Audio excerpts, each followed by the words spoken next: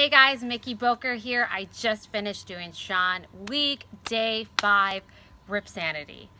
OMG, my upper body is on fire. I've just spent the last probably like, I don't know, 10 minutes cooling down, like getting my body rested after what just happened in that workout. And I'm just, I, I, I'm really, really excited because I know that I'm to feel it tomorrow. They were just muscle movements that I'm not used to and I love when I do a new workout and I try something new and I work muscles that I don't normally work out.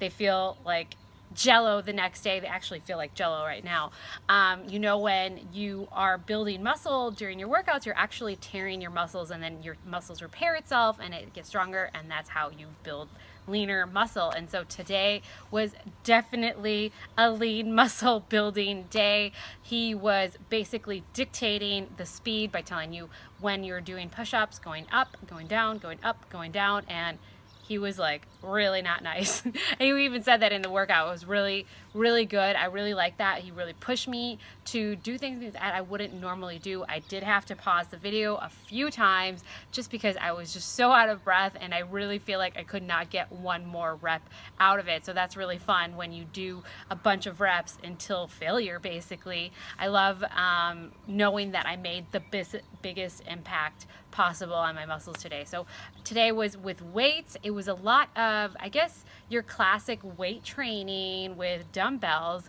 um, but doing stuff on the mat instead of like being on a chair, like as opposed in the gym. And so it gave you a little bit more I don't know, flexibility for doing it at home.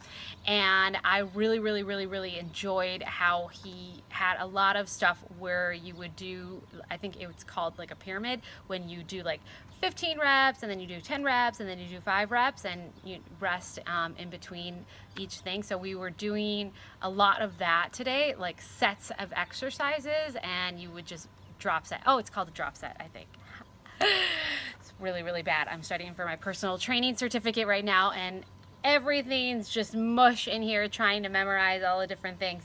But yeah, it was really, really, really a good workout. I loved it. I really did. It was a longer workout than usual. Um, the last few workouts have been about 30 minutes or so. Um, yesterday's ab workout was I think under 30 minutes and today was 43 minutes so it's a little bit longer you'll have to time plan that into your schedule if you're going to be doing this workout, but it was really, really good on the upper body. I would definitely suggest it for a good upper body workout. Lots of new, unique moves gotta check it out.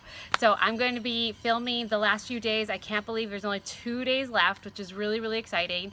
Um, if you haven't picked up your motivation at this point doing the program, like you are cray because honestly it is just so motivating and he just pushes you through. I really feel like it's a modern day workout video. You know, I think people think of Beachbody workouts if you haven't done them in the last few years like, oh, those 90s workout videos, you know, from the infomercials.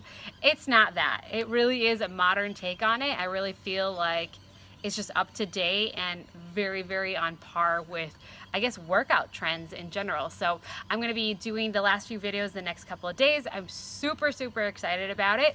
Um, if you like this video, please like it below. Or if you really, really, really like this video, give me a subscribe. So I'll talk to you guys soon. And thank you so much for watching. Bye.